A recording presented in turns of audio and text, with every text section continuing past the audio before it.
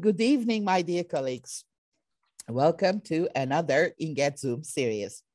Today, our guest is Associate Professor Dr. Elif Tokdemir uh, Demirel, who is an associate professor and the chair of the English Translation and Inter Interpretation Department at Kırıkkale University. Elif Hocam is also a board member of the European Writing Centers Association. Her research interests are second language writing, corpus linguistics and learner corpora studies, mobile learning, and teaching technologies in ELT and classroom interaction. This evening, the title of her talk is The Intersection of Corpora and Language Teaching, Practical Tips and Suggestions. Elif Hocam, thank you very much for being with us this evening as our guest speaker, and welcome again. The screen is all yours. Thank you very much, Aydan Hocam. Uh, thank you for your kind invitation. And I would also like to thank my colleagues uh, and my teachers uh, for being here to listen to this presentation. Now I'm sharing my screen and I will start the presentation in a minute. Uh, okay. So I want to turn on full screen. Uh, so can you see the first title page? Uh, I guess so, right? Okay, so Aydan Hocam kindly introduced me, so I'm not going to do any introductions, but I would like to say good evening to everybody again.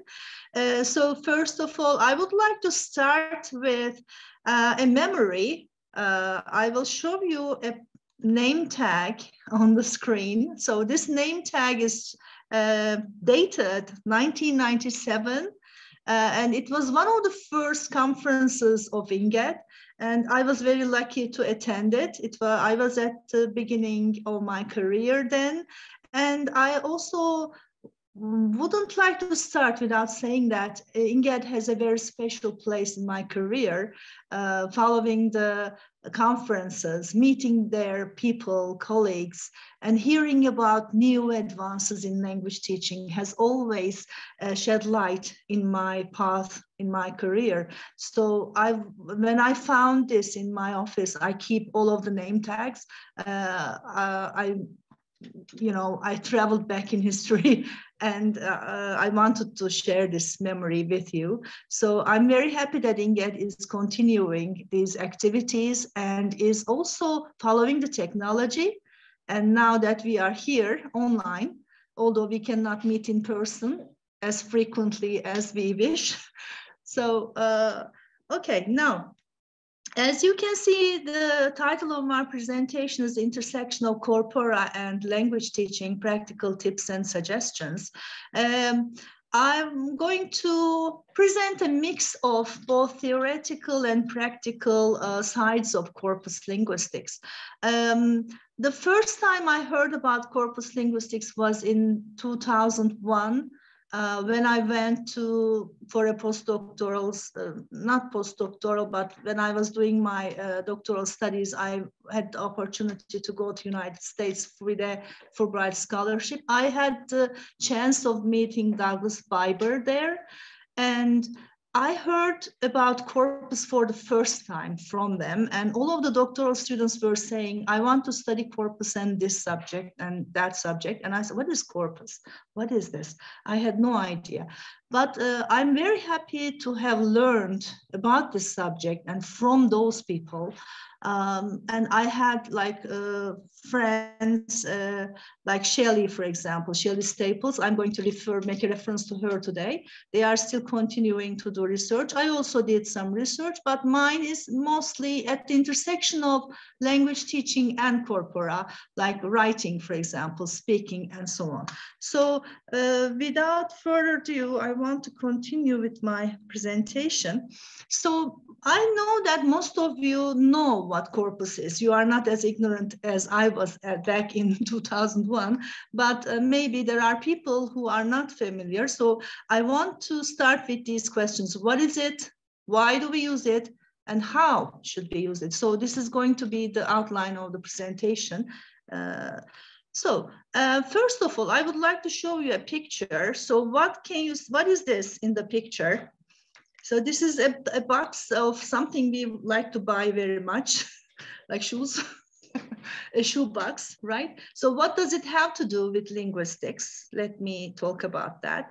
So imagine that you are a linguist and you are asked to describe the English language, but you have uh, like no computers, no grammar books, uh, no dictionaries of English.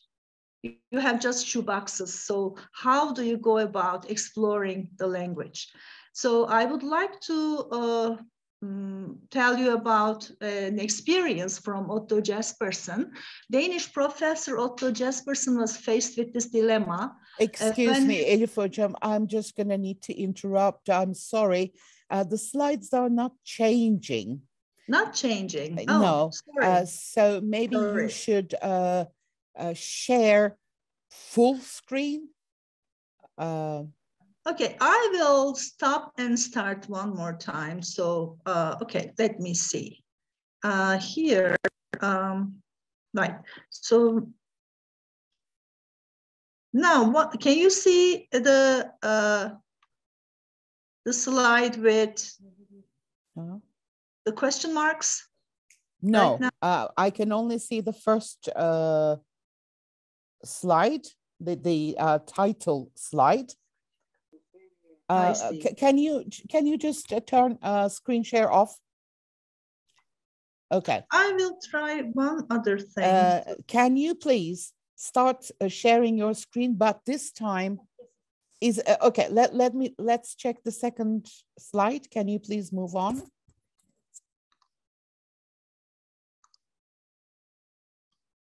Yes. How about now? Excellent. Now Excellent. there are some question marks and questions. Okay, so we are moving now. So you couldn't see the shoebox, I guess. Now can you see it, right? Yes. So, uh, so said before, if you have no computers, no grammar books, because they were being written for the first time back then, no dictionaries, and you have just shoeboxes to store information, then what you can do is what Otto Jespersen just did. Uh, he set out to write his monumental work, A Modern English Grammar on Historical Principles. It's one of the first uh, grammar, uh, let's say, very advanced grammar books. Uh, in his autobiography, he describes his experience of how his large villa uh, outside of Copenhagen gradually filled with shoeboxes containing uh, thousands of paper slips on which he noted examples of interesting English sentences from his copious reading of English literature. Then he used uh, all of these interesting sentences in his grammar book in sections of his grammar book. And uh, he picked all of these from these shoeboxes. Uh, so uh, they mm, they had to do that back then. But later on, what happened is we moved from the shoebox to the computer. I don't want to call him a dinosaur, of course, but just that's uh, just uh, I liked pretty pictures, so I wanted to use that. So we moved on to computers in storing data and analyzing data, and that uh, opened us new horizons. Uh, and that brought us to computer uh, and corpus linguistics, let's say.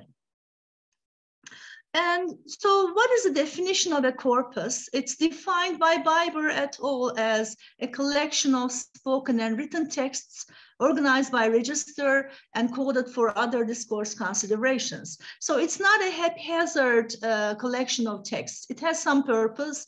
Uh, it is organized according to a principle, sometimes according to a research question. And Kennedy, also uh, one of the pioneers of corpus linguistics, defines corpus as a collection of texts. They can be electronic or not. The first ones, the shoeboxes, were also a kind of corpus we can say. Uh, they might be, uh, today, all of the corpora are machine readable. It's the norm today. They can be whole or partial. They can be compiled for various purposes, including, including linguistic research. And they represent a particular text sample. It can be written, oral, a historical period, and so on. And they are usually designed to answer questions at various linguistics levels, prosody, grammar, discourse, pragmatics, and so on. Right, so uh, the corpora which have existed from the beginning of corpus research have been divided into some eras. The early corpora are what we call the, the early corpora were developed in the 1960s and 70s.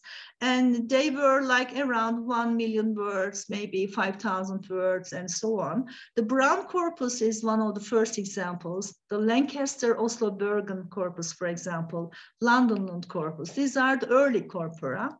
Later on, the number started to increase. The number of corpora started to increase. Uh, in the early 80s and early 90s, we can see Bank of English, for example, the BNC, which still continues to uh, contribute a lot to the area. ICE Corpora, for example, uh, Wellington Corpus, which represents New Zealand variety of English and so on, Helsinki Corpus, Archer Corpus, and so on. Uh, so, for example, Archer Corpus is mostly like historical 50-year periods of British and American English. And and until uh, after 9 we can see as you can see on the screen, other kinds of corpora. And these are uh, not the only examples. Uh, new ones are being added continuously. So I'm not going to read all of them one by one. Uh, so today, one of the resources I use very frequently is the BNC corpus. Uh, first, it was just, this page was called the BNC corpus, was, but today it is like an, you know, um, a site which collects all of the uh, contemporary corpora under one roof. So it's englishcorpora.org. It's a very valuable resource.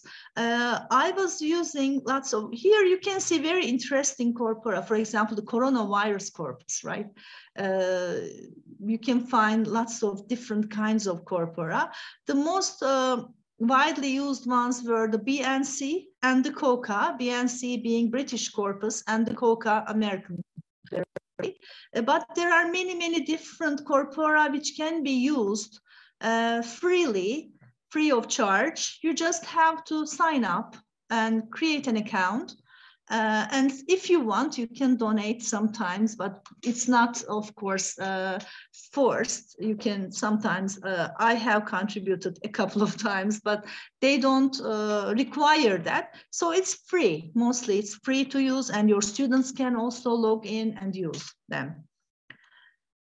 And for example, here you can see other ones uh, like magazines, newspapers, uh, television series, all kinds of uh, language from all of these sources have been compiled for use. And it also has a very user-friendly interface.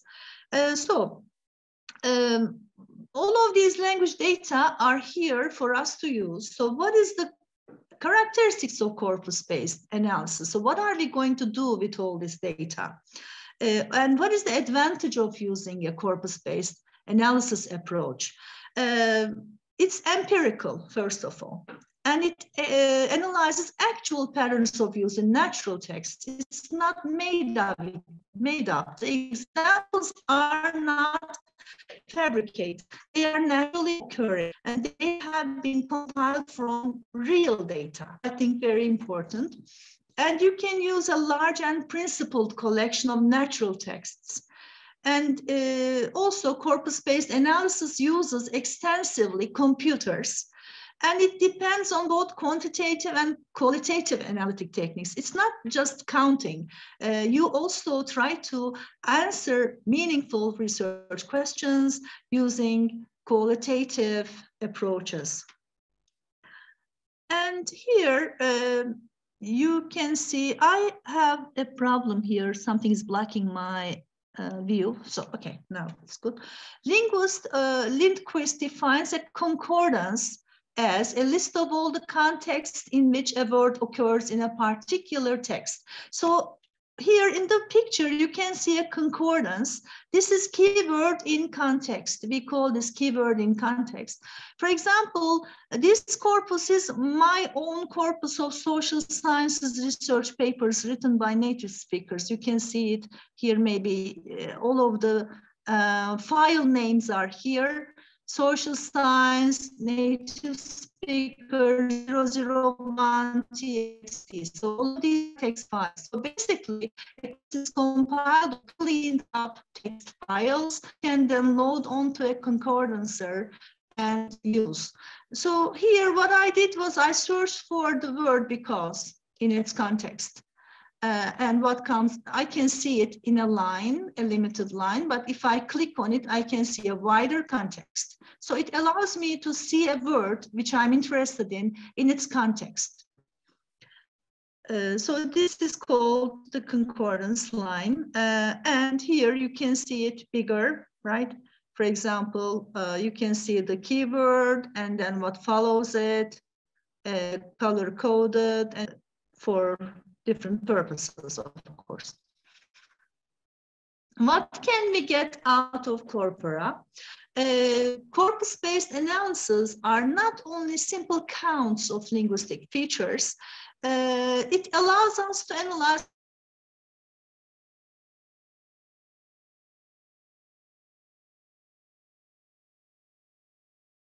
I was expecting something like this because uh, she her vision was frozen several times. And guys, honestly, I have nothing to say about corpora. so let's hope that let's keep our fingers crossed that Hoca will come back soon. Yes, I believe she's back. Yes, hooray! Okay. you scared me, mm-hmm. You scared me. I think I'm back, right? Yes, okay. you're back. Right. Welcome back.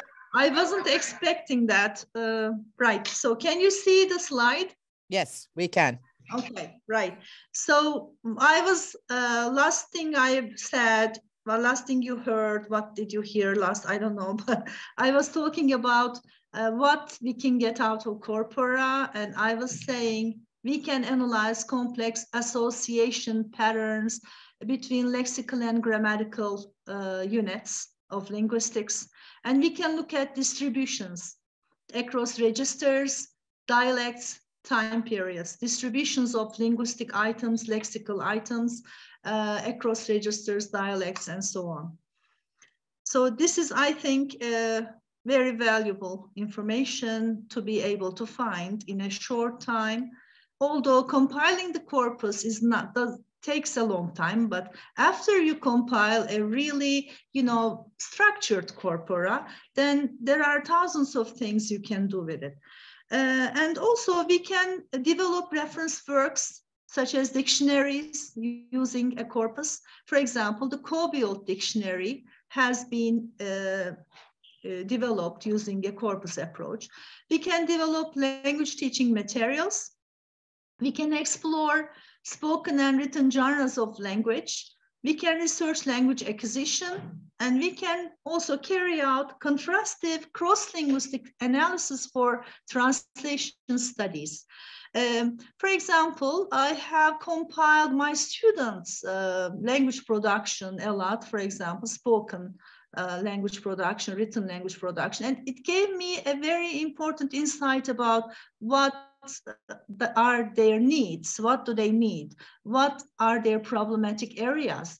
What are their strengths? So it's also a good way of doing kind of classroom analysis uh, or let's say needs analysis or action research. Um, and also, what are the advantages of a corpus-based approach? According to Svartvik, uh, corpus data is more objective it can easily be very, uh, it's needed for studies of variations between registers and styles. It provides frequency of occurrence of linguistic items. It provides illustrative examples which we can use, for example, and also we can get, uh, sorry, I am getting uh, sometimes a warning about my internet, um, but I think you can hear me now, right? No problem. Okay, good. It gives us essential information for a number of applied areas, language teaching, machine translation, speech synthesis. Right. So other advantages are uh, accessing uh, the computerized corpora is very easy. Usually researchers provide access to corpora and you can reach all kinds of data, they are shared. And also they are ideal for non-native speakers of the language to explore real language data. Also, there are disadvantages. I didn't write them here, but some, some researchers think that um, using corpus data is uh, easier for advanced level students and for beginner level students, it's kind of hard to uh, use the data. But here the teachers have a role. Teachers have to do the research first before presenting the data to the students, the teachers can work on it. And I'm going to try and show how we can make uh, corpus resources available, uh, more accessible to our students. And I will try to give an example from one of my own uh, studies.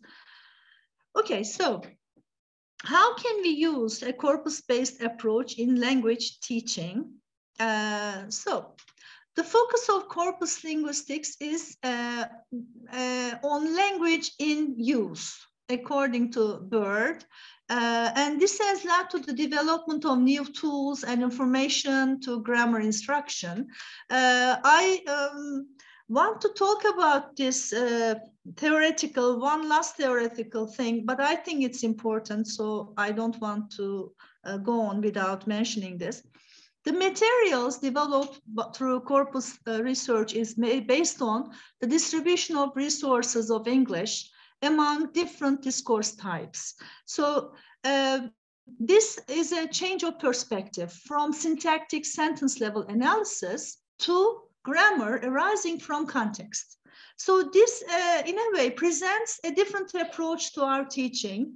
Uh, and the multidimensional approach introduced by Biber also um, studies underlying grammatical patterns that characterize different types of discourse. So in different types of discourse, we are using different lexical grammatical patterns, but we are teaching our students the same things to do all kinds of different things. So here, this approach maybe will change our perspective to teaching. Uh, in the next slide, it will be more clear. I want to give an example from the multidimensional approach. For example, underlying grammatical patterns that characterize different types of discourse. Uh, when we talk about this, uh, Biber has uh, defined involved communication. So what is involved communication? In the multidimensional analysis, you come up with different factor loadings and all of these factor loadings give you a dimension. One dimension is features of conversational interactions. And uh, Biber has called this involved communication. And lexical grammatical features needed to participate in English are included in involved communication. So when you look at the clustering of lexical grammatical features in involved communication, you can see the tools that can be used for everyday communication, right?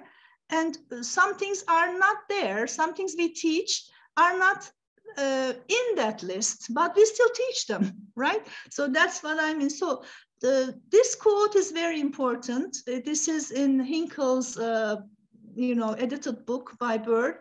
To learn to have a conversation is, in English is not to learn first about tenses, then about nouns, then about questions as separate entities and vaguely related to each other in conversation, these are strongly related to each other. So uh, I think this uh, represents a change of perspective, which we can reach through a corpus approach.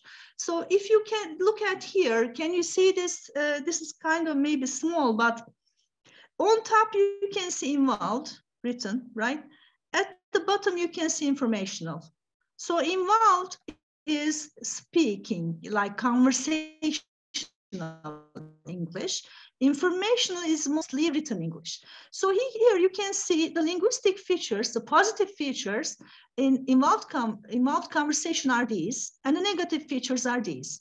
For example, in uh, uh, here, in involved communication, which tense is used? Let's have a look at it. Present tense, right? And are there other tenses? Not really, right? Mostly present tense is used, okay? Second person pronoun, do as a pro-verb, that deletion, right? Contractions, shortenings, and stuff like that. But we start teaching students before you learn all the tenses, you cannot speak, right? You have to learn past perfect continuous before you speak. So I don't know, do they need that? Uh, maybe if they can start with the present tense and start using it, get some confidence, then of course, when they move to the bottom, to the informational English, of course, they needed to read complex texts, but to speak, to have face-to-face -face conversations, to have telephone conversations, what they need is these features. So um, the connection is here. I think the important connection between corpus research and uh, teaching lies in multidimensional analysis, which defines lexicogrammatical features, which define different kinds of language use. So this is what I like about this approach, actually. And maybe if we can translate this into our teaching, uh, we will have more students more confidently speaking in the future. Uh, so of course, this is not a very new research and it has been applied. So I made a chart here um, about incorporating corpora into language teaching, different ways of using it. So you don't have to be a corpus uh, expert to use corpus linguistics in your teaching. Uh, so in in ELT, you can use available resources, first of all. What are those available resources? Uh, publicly available corpora. You can make use of those resources, for example. And you can use materials developed through a corpus-based approach if you are interested in presenting your students with naturally occurring uh, language and the change in language, of course. And if you want to use a customized approach, uh, you can use, you can build your own corpora. You can build your own corpora from existing texts, or you can compile your students' productions. For example, what I did was I recorded my students' uh, speaking lessons, sometimes speaking exams, I transcribed them, I put them on computer, and then it lot of ideas about how they are using the language in, spoke, in spoken form. Then uh, after you build your own corpora, you can use concordancing programs for data mining and analyzing that data and maybe building your own resources, asking questions and finding answers to those questions. And you can use a data-driven learning approach. Uh, this is mostly building your own customized materials with a specialized corpus and you can also use learner corpora, spoken or written. Uh, so these are all kinds of different ways you can use corpora in language teaching. And I want to, from this point, I want to show you some practical uh, aspects. Uh, maybe some of you are already familiar with these. Uh, so for example, uh, using publicly available corpora, I want to show you an example from the um, first site that I showed you, which compiled all kinds of corpora. For example, the TV corpus is one of the corpora available there. And actually, this is also something new for me because uh, earlier there was only context. So they have added new features, translate, Google, image, video and book. So I want to show you um, the word friend, for example. I searched for the word friend in the TV corpus and I came up with 128,560 occurrences of friend. So imagine that your uh, students want to find out about this word more, how it's used, what is used with it. Uh, what can they do, for example? They can go to the corpus and first find its frequency. And then they can look at the concordance lines, for example. This is the keyword in context line. So friend, the sentences friend is used in Alfred Hitchcock's something here. It comes from, I think, a documentary or something. Uh, so dear friend, I know my friend. So you can look at these, explore them. What else can you do? For example, you can look at the collocations of a friend, a friend, my friend, your friend, best friend, old friend. So this is not very difficult for your students, right? Up to here, they can do this on their own and they can explore a newly learned word. They can look at what it occurs most frequently with. So would they help them? I think so. It would help them to see when, for example, they are writing, they don't know how to put in front of a word as an adjective. You can also search for those words like you can search for the word just before coming before friend which is an adjective right? You can also put, part of speech. That's uh, also possible.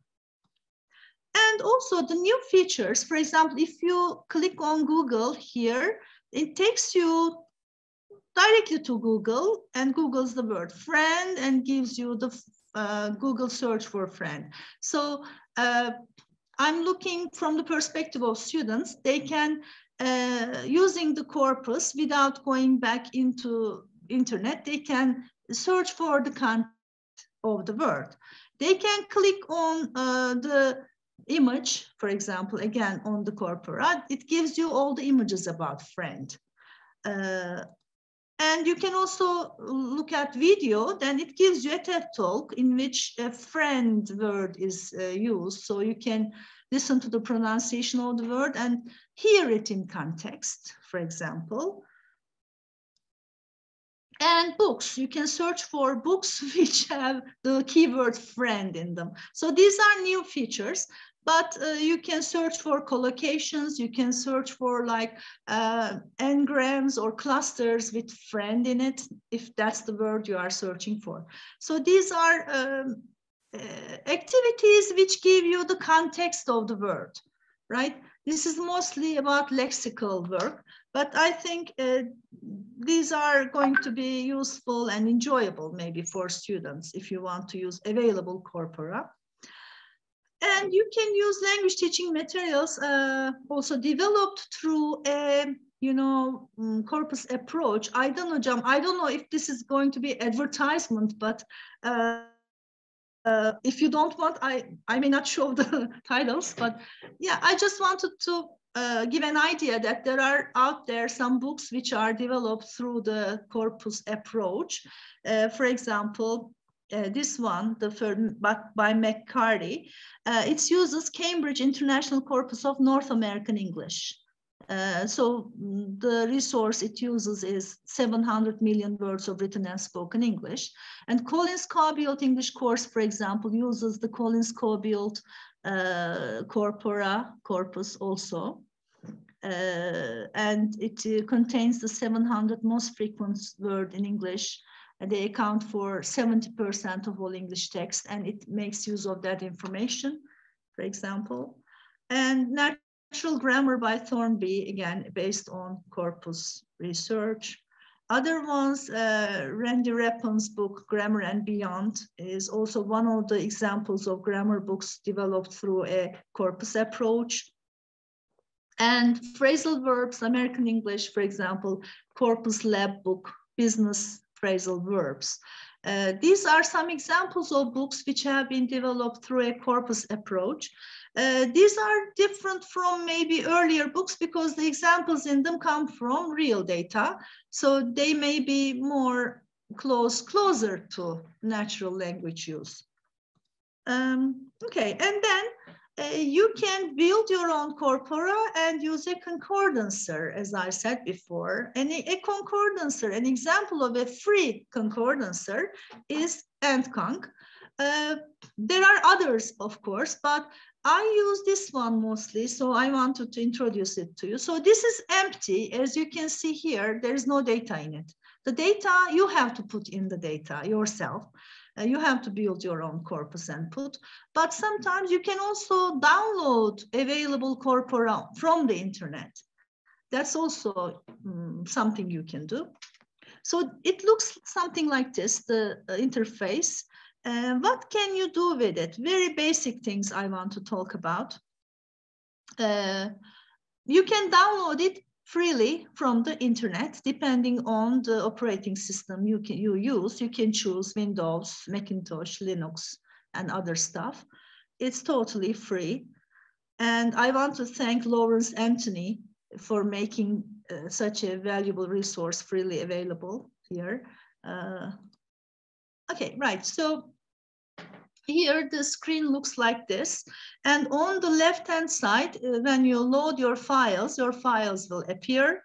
Your text, they have to be text files, very basic text files. And I don't know what here, this is the file window, progress report window and search options. It's not very clear, but sort levels and concordance lines uh, and stuff like that. So here you can see, for example, the word list feature. On the left-hand side, you can see all of the files loaded here. There are 48 files, and these are academic texts, uh, published research articles. Um, and when you use the word list function, uh, it searches for all of the words. For example, the is the most frequent word here. Uh, understandably. The function words come first, and when you scroll down, you are going to see more content words. And the next thing you can do is you can find, for example, uh, in this corpus, what are the most frequent groups of words, like and what we call n-grams, uh, clusters of words, for example. Uh, you can do that by writing search. Here you can see a box that you can click and you can define the, uh, the for example, number of words, for example, a minimum four words. So I wanted to see uh, clusters of words, uh, like four word clusters here. So you can see, for example, this was about social sciences. So you can see some words, some clusters about teaching, kindergarten and first grade, for example, the degree to which. Prejudiced attitudes of teachers is one of the most frequent clusters. I don't know why, but um, yeah, black college presidents. This is from American context, so black college presidents has come up. Uh, so it gives you an idea about what is happening in these texts, what is the subject, what is the theme, and so on. Uh, you can also find collocates of words. For example, here I found collocates of the words because in this academic texts uh, dropped, for example. Probably a student dropped out of school and the research was examining the reasons for that um, because retirement problematic omitted occur primarily uh, all of the words that can appear with because frequently the collocates are here. And you can also find keywords of a text. In order to find the keywords in a corpus, you have to have a reference corpus. Uh, there's a function here where you can upload a reference corpus in the background and it searches these words uh, against that reference corpus. And for example, these were about social sciences and mostly about education. These 50 were about mostly education.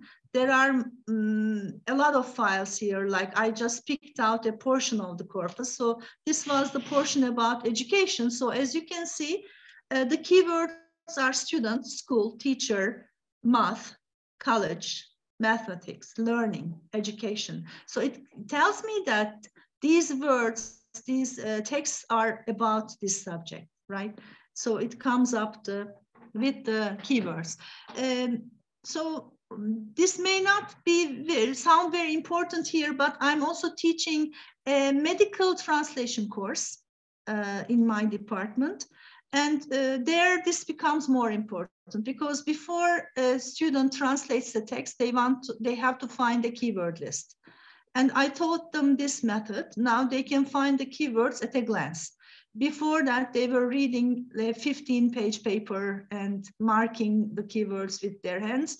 Now they can just do it in seconds uh, after they learn this method. So, uh, so what we follow in translation is first they explore, analyze the text. They look at the important keywords.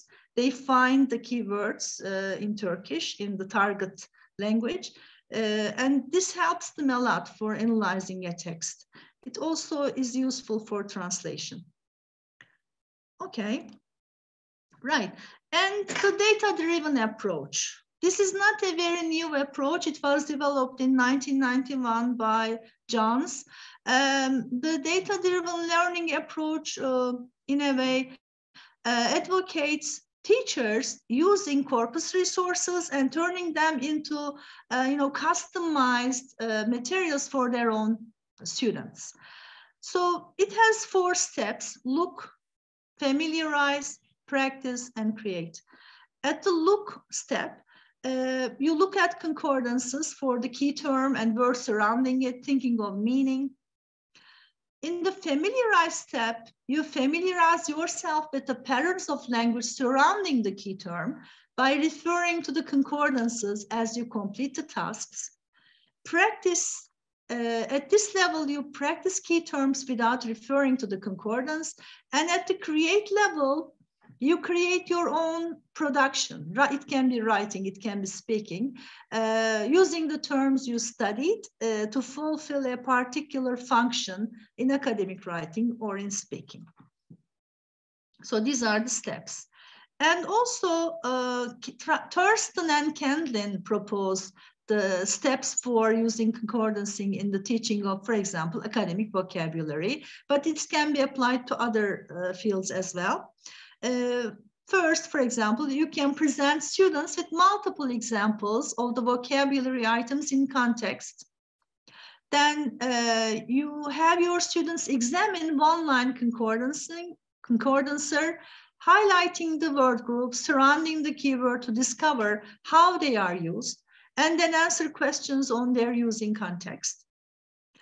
And the presentational concordances can be followed by exercises, enabling students to ensure that they are using the item appropriately. Uh, and then creative and improvisational activities follow. So it, it starts with analyzing, doing exercises, and then becoming creative. So it moves uh, from being more mechanical to being more creative.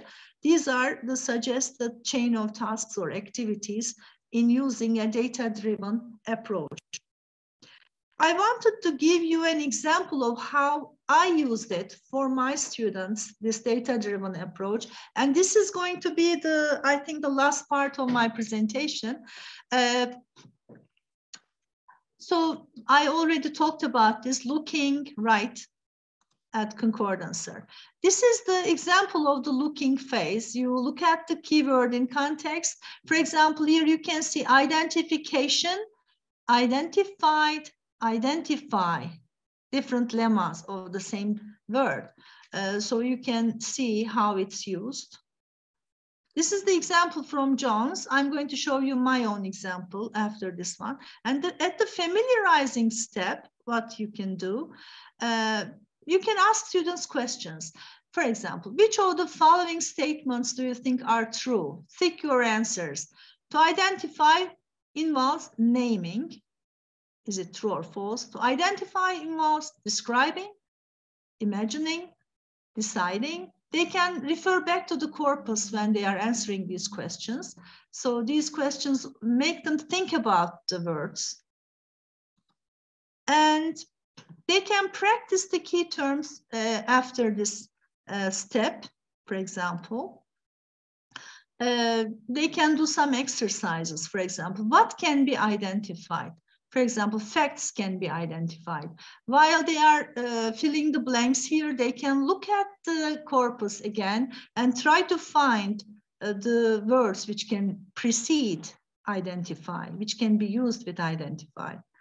So, um, for example, in the second one, uh, you can, the students are asked to look at the concordancer concordances in group two, which do not use part of the auxiliary to be, and circle the objects identified. What are the objects that are identified, for example? And later, they, you can ask your students to create uh, something, create a writing, create a production uh, with the words they have studied. For example, here there's a passage, passage and uh, the students are asked to summarize them uh, here using the words they just learned. For example, the word identify, maybe they can relate to it and uh, summarize them using the words they have just learned. Okay, so what I did with this approach was I wanted to familiarize students with the academic word list uh, by Coxhead. And uh, I wanted them to use this approach and learn academic words because this was in the context of an academic writing class. Um, I gave students uh, the 10 sublists of the academic word list. And I uh, divided them into groups of uh, three or four students. And I shared the concordance search task. Uh, they shared the task uh, with their groups. And I gave each group as one sublist to study. Uh, their task was to use the BNC, British National Corpus Interface, and to do concordance line and collocation searches for each target word on their sublist of the academic word list. After they completed this task, they filled in the information they gathered on a worksheet. I provided them with a worksheet. So I sent my students out uh, to the corpus. I first trained them in how to use it, of course. Then I gave them a task, a specific task to explore words. Uh, so this is the sublist of the academic word list here. You can see it on the screen. Uh, for example, the, uh, there are 60 families in each sublist. And uh, here you can see analyze, for example, then the different forms of this word and so on. This is first sublist. And what they did was uh, they looked at the words, their frequency, uh, here I give some information about the academic word list by Coxhead. Uh, you must be familiar with it, but maybe I can just uh, talk about it. The word list is divided into sublists based on the frequency of occurrence of the words. And uh, sorry, uh, the words in sublist one, for example, are more frequent. And sublist two uh, are, you know, with, which follows uh, has words with next highest frequency. So it uh, the frequency level decreases from the first to the last uh, of them, but they are all chosen from academic register. And they are used in academic writing. For that reason, I wanted my students to get familiarized with these words.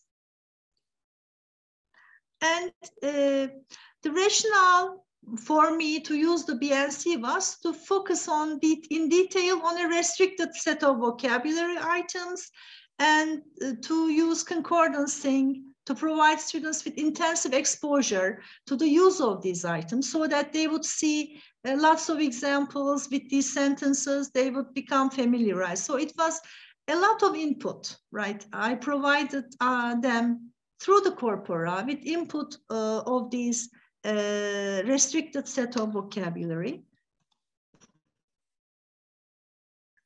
And uh, later on, I wanted mm, uh, to use John's approach to familiarize my students with Coxhead's academic word list. So what they came up with, I'm going to skip these here. This was the uh, chart I wanted them to fill. Uh, so for example, uh, they were searching for the word individual, let's say. Uh, first, they wanted, they found the definitions of the word, they put them here. Then they found the collocations of the word on the left, on the right.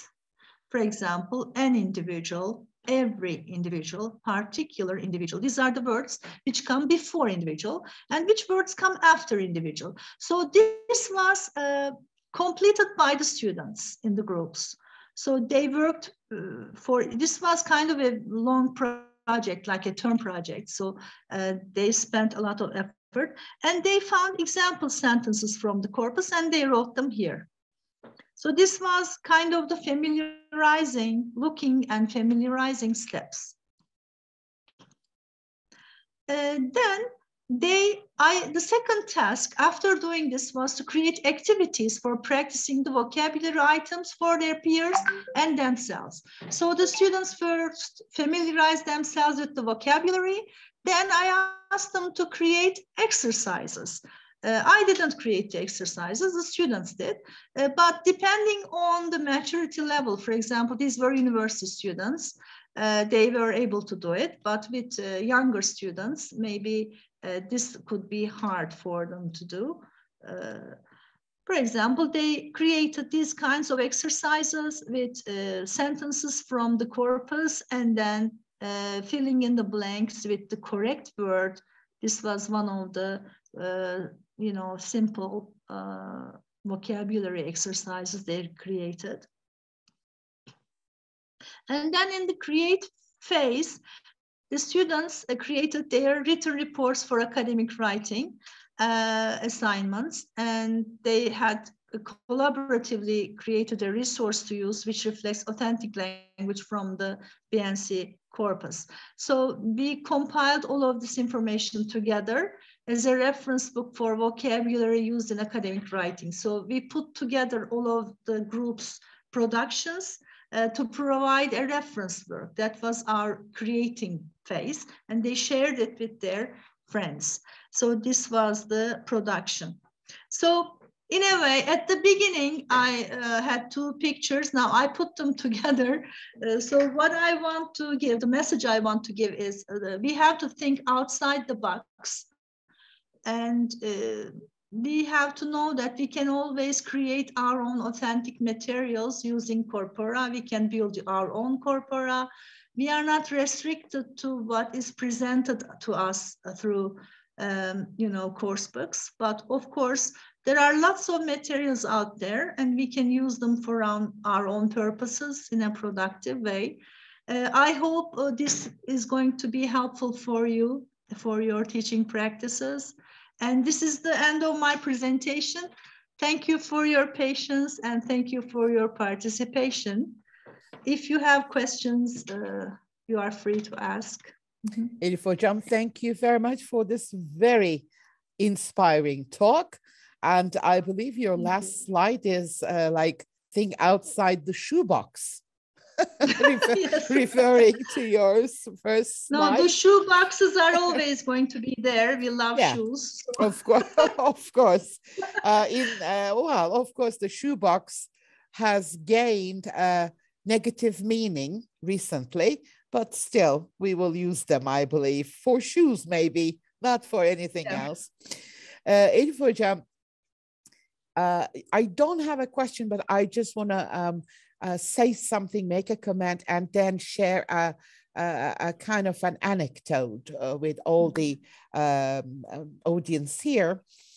Uh, corpus studies or corpora, uh, these are vital for language teachers. I mean, of course, they are very useful for learners, but I believe it's a must for language teachers. Why do I say that? Um, those who know me uh, know that I uh, am into teaching English to young learners. And uh, when you deal with young learners, of course, you use storytelling mm-hmm. and dramatization technique. And when I was teaching uh, at Gazi University, I assigned uh, different stories uh, to uh, groups, and they were to prepare storytelling uh, techniques and then uh, dramatize it. One of my students uh, started telling a story about a chicken family. Uh, the uh, father chicken, rooster, mother chicken, and baby chicks.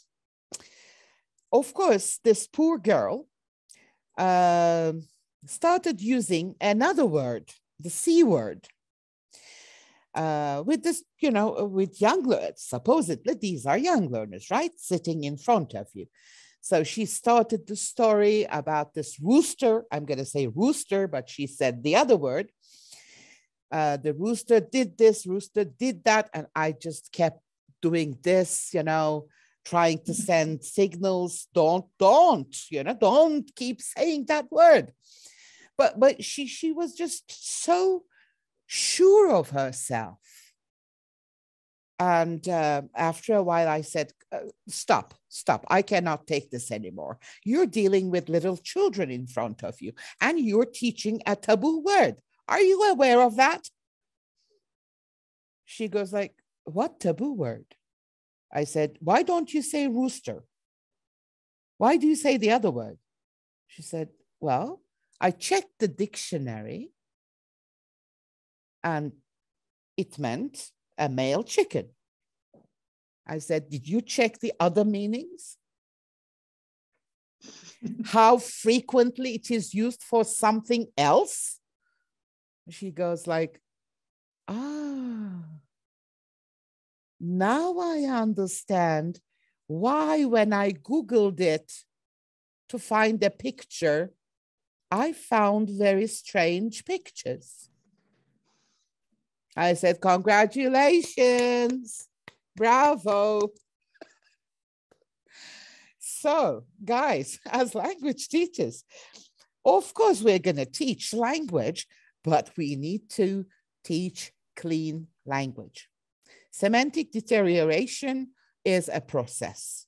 Some words gain a different meaning in time. Please, please check the word and not only look at the first meaning of it, but all, please. And as Elif has suggested, maybe you also want to check it in context. Mm-hmm. Right? Yeah, I know. It, it, I mean, that poor girl, she was so ashamed. Okay. Well, I have another um, anecdote related to cat in the boots. The old version, puss in the boot. uh, I'm not going to tell it. You can easily imagine. I mean, the title is very clean, but then if you start calling the cat with the cute version, then it gains another meaning. You know, when you add uh, a certain letter at the end, I'm not going to say the word. Uh, so uh, that was another story. I won't tell it, but please uh, adopt this corpus, okay, corpora. Check whatever you want to teach. Even if you're 100% sure that a word means this, check it. As Elif Hocam has said, it only takes seconds thanks to this technology. Uh, right? yes, definitely. I can read the remarks in the chat box. Yeah. Um, Elif Hocam, what do you think of uh, the age group? In your presentation, you mentioned that using this with young learners can be a little bit hard. Mm-hmm. So, are you suggesting that this is more like for older learners? Not really. Um, what I'm suggesting is, of course, young learners cannot be able to use the BNC, the COCA, mm. the TV corpus. That would be very advanced for them. What you can do is you can create for them a storybook uh, corpus, mm. for example. Mm. With very simple story words like um, fables, for example, you can put together a simple fable uh, corpus, and then you can they can very easily use the AntConc. Today's children are very computer mm-hmm. literate. Mm-hmm. Then you can ask them, uh, for example, when uh, a cat, right, a cat. Uh, how can we, uh, what comes before a cat? What adjectives are used to describe a cat? Mm. Find it. Black cat, for example, right? What are the different names given to a cat? So you can just ask them to do searches, simple searches in a corpus which is there for their age. Mm-hmm. So the, the data-driven approach is important for this reason. You can create your own materials for uh, all kinds of different learners at different levels. Uh, but university students, for example, my students uh, were able to use the BNC to correct their uh, mistakes in writing, right? Yeah. I uh, checked their writing, for example, in one of my um, it was kind of a very action research study. Uh, I marked their uh, problems in their writing with, you know, for example, wrong word, WW and stuff like that. Mm-hmm. And I asked them to go on the corpus, look at there and try to find the correct word that you have to use. For example, which adverb had to go here instead mm-hmm. of the one you used. So they were able to do that. Mm-hmm. Uh, so there are lots of things you can do with university students uh, for young learners, you have to get creative and create your own resources. Okay. Mm-hmm. So if the teacher, uh, uh, if um, as a teacher, I'm working with a group of young learners, I can form my own data mm-hmm. and students can work with that. Or you can uh, mm, put together your corpus. Uh-huh. You can create materials for your students. You can okay. create exercises uh, from, for example, fairy tales uh-huh. uh, or well, stuff like that, something which will interest them. I encounter, as you know, children's stories um, are full of mm-hmm. strange language examples. Mm-hmm. So a chair can dance, for example, in a story, mm-hmm. mm-hmm. or um, I don't know, a flower can sing in a story.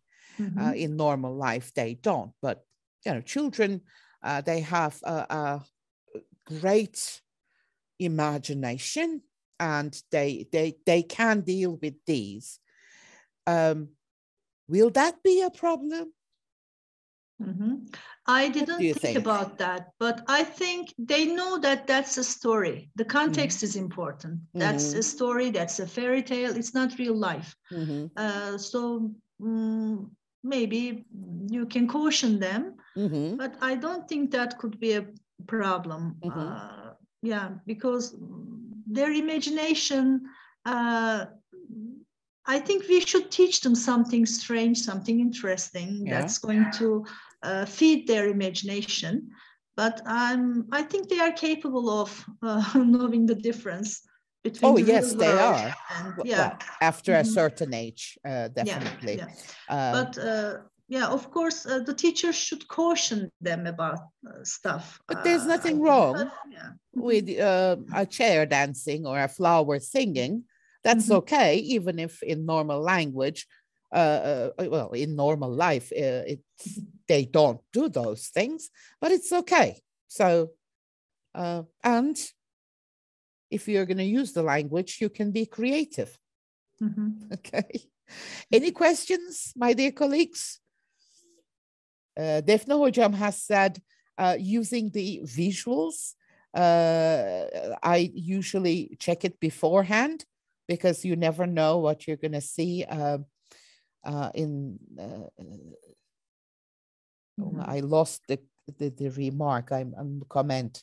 Ah, Defne Hocam says I would do the research on Google at home before I show yes. them to my students, especially visuals. You never know what may come up. That's a very good point. Yeah. Okay. Um, uh, I'm checking the chat box. Uh, Hocam, if you uh, stop uh, sharing your screen, sure. you can also uh, see the chat box and see all the participants. Mm-hmm. Um, and uh, maybe if you can, I cannot spot any other questions or remarks. Of course, the people thank you for this wonderful talk. Mm-hmm. Yeah, I thank you again for all the participants. Thank you for your uh, participation. I see uh, all of the comments. Thank you for your nice comments. Yeah. Mm -hmm. Okay. Well, I guess, uh, Elif Hocam, uh, we don't have any questions and um, well, I can keep you here asking all kinds of stupid questions. I love asking stupid questions. well, I know that. uh, that that's okay. That's okay. There is, uh, of course, it, language is cultural, and there's no English word for that. Uh, you can always pronounce it uh, in, English estağfurullah, for example. It, ah, yeah, people, people will think that it's English. no big deal. oh. we had great time. It was very informative, very helpful, and especially the tips that you have shared with us. Definitely, I believe my colleagues are going to use those uh, to uh, cre- create their own materials, uh, help their students to come up with certain activities. So I cannot thank you enough for this uh, uh, excellent Thank you talk. so much. Uh, this is very valuable coming from you, all of these, uh, you know, very nice comments. Thank you so much. And uh, thank you again for your kind invitation. It was a pleasure for me to present here this evening. And it was a pleasure for us to like to, to thank, yeah, thank you so much. I would like to thank everybody to for uh, spending their precious time here with us. Uh, and Aydan Hocam, thank you for your moderation, uh, moderating the talk and for the anecdotes and all the positive, you know, atmosphere you created. Thank you so much. Thank you. I hope that it was a useful presentation and uh, I congratulate you for all these, you know, webinars that you are uh, organizing, and uh, I'm sure that it's uh, benefiting everybody a lot, and it will continue to do so. I hope okay. so. Yeah, and of course, as usual, I thank all of my colleagues. I cannot count the names here uh, because without them, these webinars are just Elif you and me talking to each other. So they always make these uh, more meaningful and uh, with their smiling faces, positive energy, I find uh, more strength to go on, more webinars to do. So thank you very much. Take very good care of yourselves. Please, please stay safe. And I hope to see you next week with another guest speaker. Bye-bye. Bye, everybody. Good evening.